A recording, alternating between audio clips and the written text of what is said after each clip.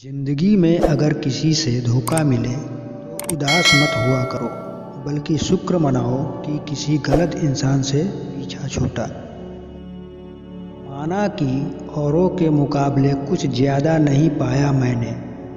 खुद गिरता संभलता रहा, किसी को गिराया नहीं मैंने।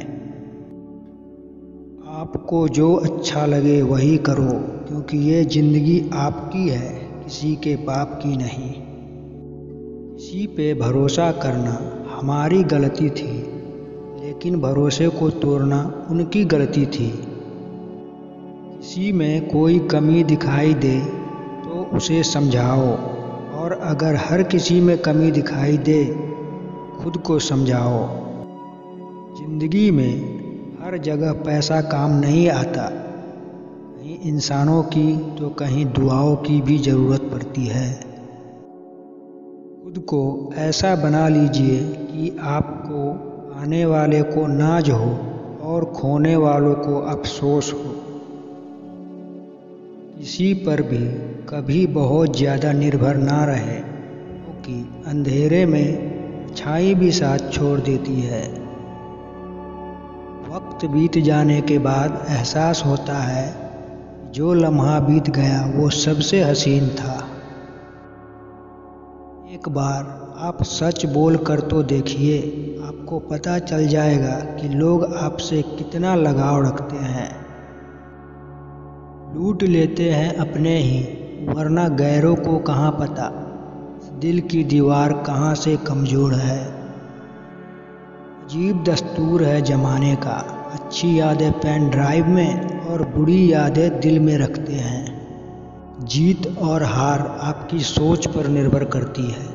मान लो तो हार होगी और ठान लो तो जीत होगी।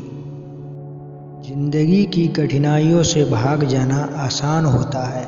ज़िंदगी में हर पहलू इम्तिहान होता है। डरने वालों को नहीं मिलता कुछ ज़िंदगी में। लड़ने वालों के कदमों में जहान होता है। यही जज्बा रहा तो मुश्किलों का हल भी निकलेगा। जमी बंजर हुई तो क्या वहीं से जल भी निकलेगा। ना हो मायूस, ना घबरा। अंधेरों से मेरे साथी ही रातों के दामन से सुनहरा कल भी निकलेगा। जीवन की सबसे बड़ी खुशी उस काम को करने में है, जिसे लोग कहते हैं, तुम नहीं कर सकते। खुद को इतना कमज़ोर मत होने दो कि तुम्हें किसी के एहसान की ज़रूरत हो। दर्द, गम, डर जो भी है, बस तेरे अंदर है। खुद के बनाए पिंजरे से निकल कर देख, तू भी एक सिकंदर है। ज़िंदगी में आप कितनी बार हारे, ये कोई मायने नहीं रखता, क्योंकि आप जीतने के लिए पैदा हुए हैं। बूंदे, भले ही छोटी हो, लेकिन उनका लगातार बरसना बड़ी नदियों का बहाव बन जाता है। वैसे ही हमारे छोटे छोटे प्रयास भी ज़िंदगी में बड़ा परिवर्तन ला सकता है। मैं वो खेल नहीं खेलता जिसमें जीतना फिक्स हो कि जीतने का मज़ा तब है जब हारने का रिस्क हो।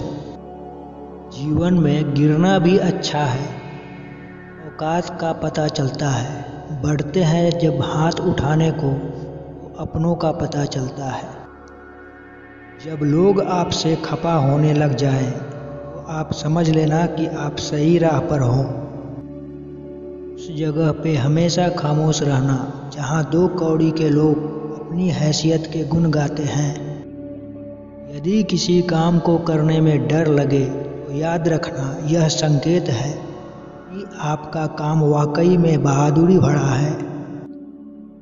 क्रोध के समय थोड़ा रुक जाए और गलती के समय थोड़ा झुक जाए तो दुनिया की सब समस्याएँ हल हो जाएँगी।